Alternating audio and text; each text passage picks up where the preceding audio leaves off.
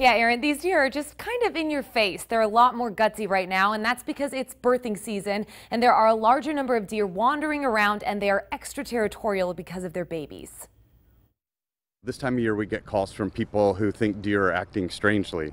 Jeff Cann with the California Department of Fish and Game says the daring deer behavior is actually normal for this time of year. The deer's just protecting its youngsters. So it's being standoffish and it's trying to spook the perceived threat and, and scare you or and or your dog away. Several Pacific Grove residents we spoke with say they've experienced the aggressive deer phenomenon, which is more likely to happen if you have a dog or cat with you. Had a deer turn on me a little bit and kind of let me know that I shouldn't be so close.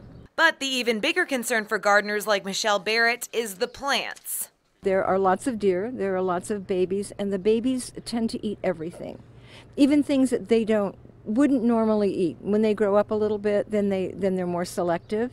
Fish and Game, however, says the population is healthy, not above normal for this time of year. Deer are doing fine in those areas, um, but this time of year we like to plant what we call ice cream plants. People go to Orchard Supply or Home Depot or wherever and they get flowers and put them in, and those are things deer like to eat. So the takeaway if you want to keep the deer out of your gardens, steer clear of roses and other flowers. They are basically like candy for these deer.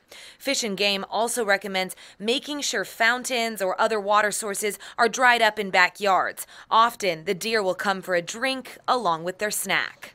We all work hard to try and make our yards a nice place, and often the animals recognize that. So, um, if you can make them a little less hospitable, you'll have less animal visitors.